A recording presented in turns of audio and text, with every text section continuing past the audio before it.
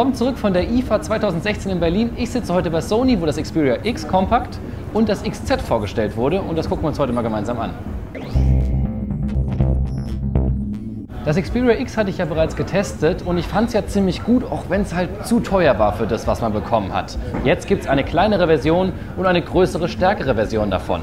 Hier ist tatsächlich der gleiche Prozessor drin, ein 2300 mAh Akku. Ich denke aber, der wird gar nicht so schlecht performen, weil das beim Xperia X ja auch schon ziemlich gut war. Wir haben dieselbe Kamera und jetzt hier so einen neuen Streifen, in dem der Laser-Autofokus und Blitz und sonst noch irgendwas drin ist. Ehrlich gesagt, keine Ahnung. Ist, glaube ich, auch wieder mal ein bisschen Marketing. An sich muss ich aber sagen, die neue Form von dem Gerät gefällt mir ziemlich gut. Wir haben jetzt unten USB-C. Endlich muss man ja sagen. Sony war da ja so ein bisschen hinterher. Aber das Gerät ist an sich schöner designt als die Vorgänger. Gefällt mir sehr gut. Ein 4,7 Zoll Display. Ne, 4,6 Zoll Display.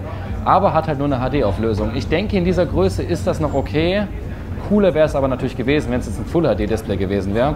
Wir haben hier Android 6 drauf, ganz normale Sony Software. Hier ist eigentlich nichts Spannenderes weiterhin Remote Play und so weiter. Also das ist so das kleine Einstiegshandy, sage ich mal. Das kostet 100 Euro weniger als das Xperia X.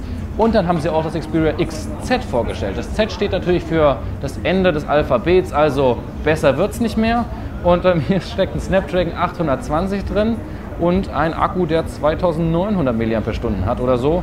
Also auf jeden Fall eine Ecke größer. Jetzt nicht der fetteste Akku auf der Welt, aber das Gerät ist zum Glück endlich wieder wasserfest, was es ja in der Vergangenheit nicht mehr war, was ich schade fand.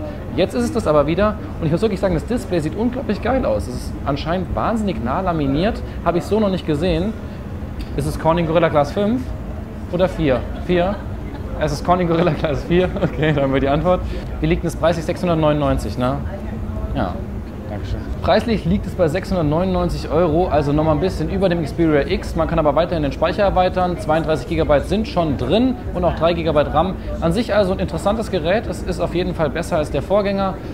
Es wird jetzt, denke ich, nicht das Smartphone revolutionieren, aber es ist ein extrem guter Nachfolger. Und wer Sony Smartphones mag, wird, denke ich, hier auf jeden Fall was finden. Das war's von der IFA bei Sony. Wir sehen uns bald wieder. Macht's gut, bis dahin. Ciao. Dankeschön.